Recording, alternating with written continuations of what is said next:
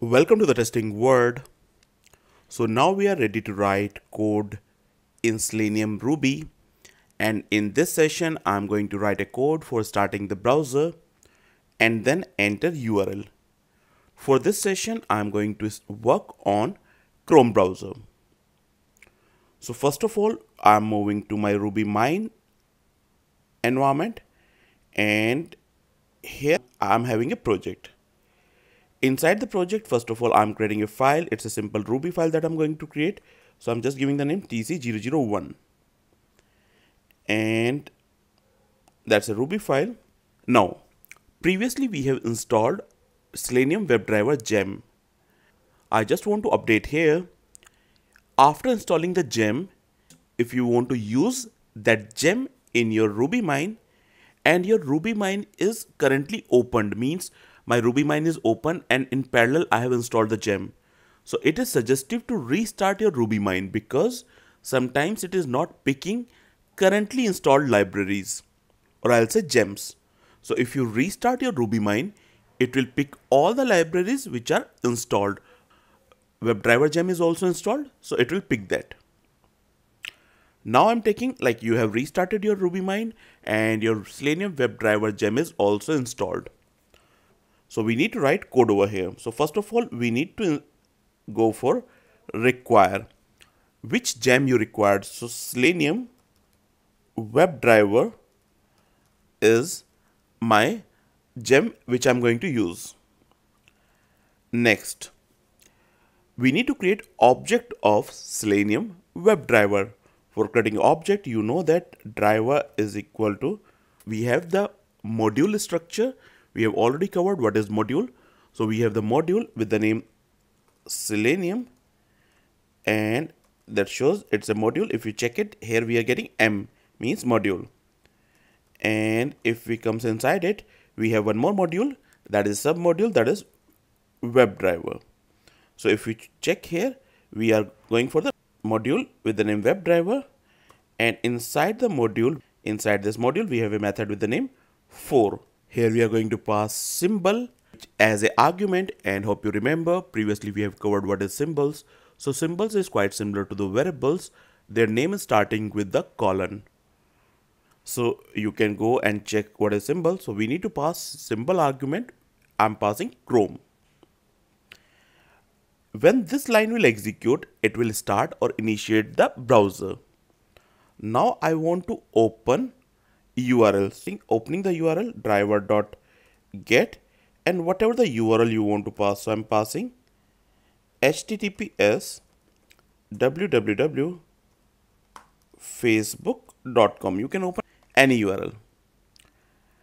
I'm going to execute, I'm just saving it and going to execute this. It will fail as of now. I'll show you. Once it is failed, I'm going to the reason of the failure. What it is showing, unable to find Chrome driver. You can download this from this location. Now, point is, what is Chrome driver?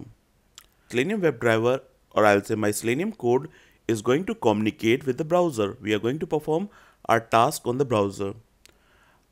But I'm writing the code here in the Ruby. My browser does not understand Ruby. Then how we can communicate with the browser? So to make this communication possible, every browser is giving its plugin. We can communicate any browser through the plugin and that plugin is provided by the browser itself. So we are going to use this plugin as an intermediate channel or I'll say we can use this uh, plugin as an interface between us and the browser. So now in the WebDriver, as you know, we are writing the code in the Ruby and browser does not understand Ruby. How we can make communication? For the communication, we need interface and that interface is provided by the browser itself. So here it's showing for the Chrome, you need a Chrome driver means you need that plugin and you did not set up that plugin as of now. Now, next we need to set up that plugin. Only after that I can communicate with the browser. How to set up plugin now? So before creating object of your WebDriver, we need to mention Selenium. Selenium is a module we know and that's a Selenium module. And then we are going for the WebDriver module. Then we are going for Chrome. We have a module with the name Chrome and inside the Chrome we have a method with the name driver path and here we need to pass that path. How to pass this path? How For sending this path first we need to download that. So if you notice that's the location from where we can download it. Just moving to the browser. Here you will see lot of versions are here. You can download latest version or what you can do first you check what is version of your browser so if I check in my case version of my browser is Chrome 59 so you can check Chrome driver for Chrome 59 because if you are using the different version which is not compatible with your browser your browser will not be started. Or I'll say my test case will not be able to communicate with the browser. So we need a specific version. So I'm just going here if you notice it shows you can use 2.31 Chrome driver which is supporting 58 to 60.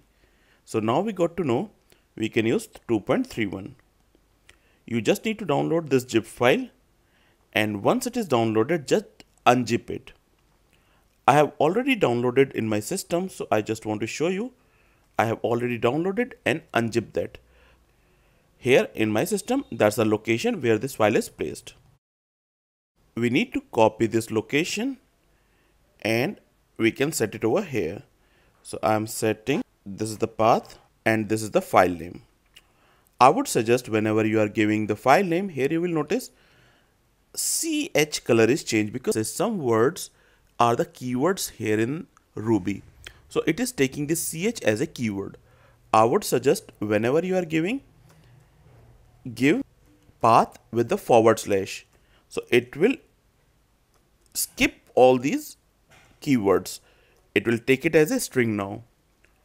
So now everything is done and now I'm ready to execute my code. So I'm just saving it.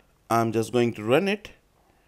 And now you will notice it started browser, entered URL. Once it is done, browser is closed even you will think about I did not write a code for closing the browser why it's closed. So here in Ruby, whenever instance use is completed, I have created an object or the instance of the WebDriver and on this line, driver object is completed. I'm not using it anymore. So it automatically delete that. It automatically remove it or I'll say it automatically set it null means close it. Now my requirement is after executing the test case, I don't want to close it. I want to keep it open. As of now, we, we just want to see what is happening on my browser. So I just want to keep it open till the end until unless I close it by the coding. First, we need to copy this line, set it here in your code and that is desired capabilities. So desired capabilities you can understand whatever the settings I want to do on the driver which I'm opening we can set it by desired capabilities. I'm going to explain this capability on a later sessions but as of now we can understand I'm just saying for the Chrome we set Chrome option which is detach property which is true. So that's a predefined property which we need to set. Now my browser will not be closed automatically. And here as a second argument we need to pass this everything is done. Now I'm going to execute my test case. So you will notice it will start browser enter URL but it will not close the browser. So here we have seen how, how we can start browser and now we can write rest of the code for for writing our test cases. That's all we have for this session.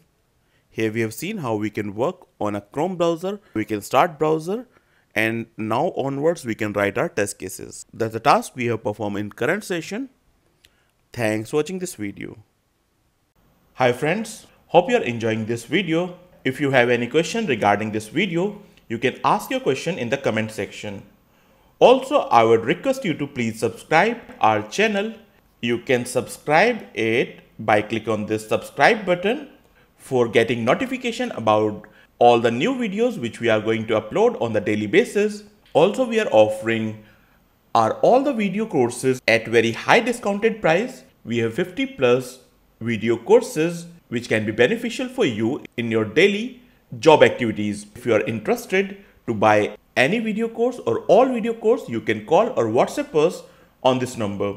Also, you can be in touch with us by using Facebook, LinkedIn or Twitter. Happy learning!